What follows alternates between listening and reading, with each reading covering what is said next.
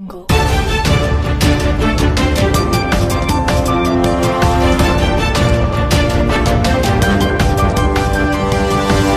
Audio Jungle.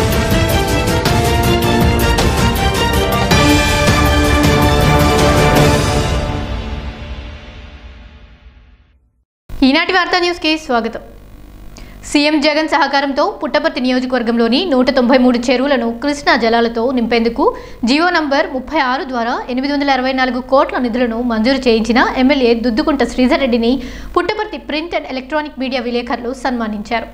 Sathya Sai press club ఆధ్వర్యంలో విలేకరులందరూ YCP party కార్యాలయంలో ఎమ్మెల్యే శ్రీధర్ రెడ్డిని కలుసుకొని శాలువా పూలదండలు వేసి అభినందించారు. అనంతరం ఎమ్మెల్యే చేత కేక్ కట్ చేయించారు. ఈ సందర్భంగా పుట్టపర్తి అభివృద్ధికి సంబంధించిన తొమ్మిది డిమాండ్లను విలేకరులు ఎమ్మెల్యే ముందుకు తీసుకువచ్చారు. అందులో ముఖ్యమైనవి ఎన్ని ప్రభుత్వాలు మారినా పట్టణంలో ప్రెస్ క్లబ్ గ్రంథాలయం ఏర్పాటు చేయలేదన్నారు. వాటి ఏర్పాటుకు సహాయం చేయాలని ఎమ్మెల్యేని కోరారు. దీనికి సానుకూలంగా స్పందించిన ఎమ్మెల్యే డిమాండ్లను పరిశీలించి చేస్తానని హామీ ఇచ్చారు. ఈ కార్యక్రమంలో municipal chairman Tunga Obulapathi vice chairman Sri Lakshmi Narayana Reddy YCP senior నాయకుడు కొండారెడ్డి కౌన్సిలర్లు కన్వీనియర్లు వైసీపీ ముఖ్య నాయకులు పాల్గొన్నారు.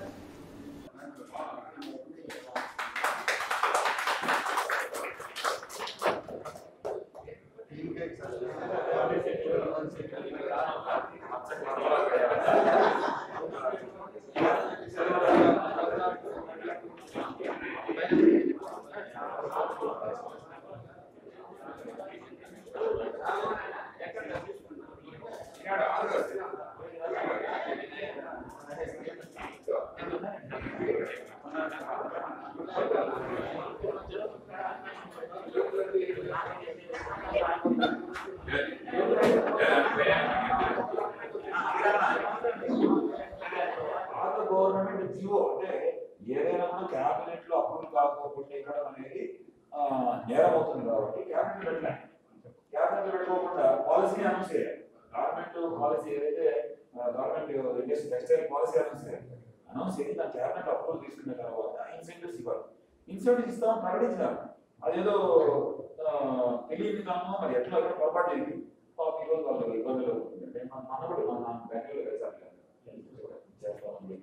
పాతవి మా దగ్గర లేదు క్యాబినెట్లో ఆ క్యాబినెట్ సమావేశం జరగలేదు ఆ పాలసీ చెల్లదు. కొత్త పాలసీ వచ్చింది. కొత్త పాలసీ మళ్ళీ క్యాబినెట్లో పెట్టి అప్రూవల్ తీసుకున్నారు కాబట్టి కొత్త పాలసీలో అన్ని యాడ్ చేసి ఇస్తాం తర్వాత ఈ రోడ్ అందుకని మౌలిక వస్తుంది రోడ్స్ కావాల్సిన ఫస్ట్ రోడ్స్ ఉంటే రూరల్ ఏరియాస్లో వస్తాము అంటే ఓడీసీ అప్పుడు ఇంటీరియర్ ఏరియాకి వస్తామని చెప్పి చెప్తున్నారు అందుకని చెప్పి వాళ్ళకు రోడ్స్ అన్ని అన్ని రోడ్లు ప్రపోజ్ చేశారు.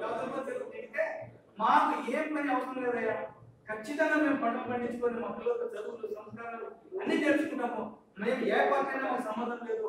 ఆయన పెద్ద ఆయన మాకు ఈ చెరువు పెట్టి నీళ్ళు నింపితే శాశ్వతంగా రుణపడిన మా కుటుంబానికని ఖచ్చితంగా మాకు తెలుగుదేశం నాయకులే మాతో ఫోన్లో చెప్పడం జరిగింది.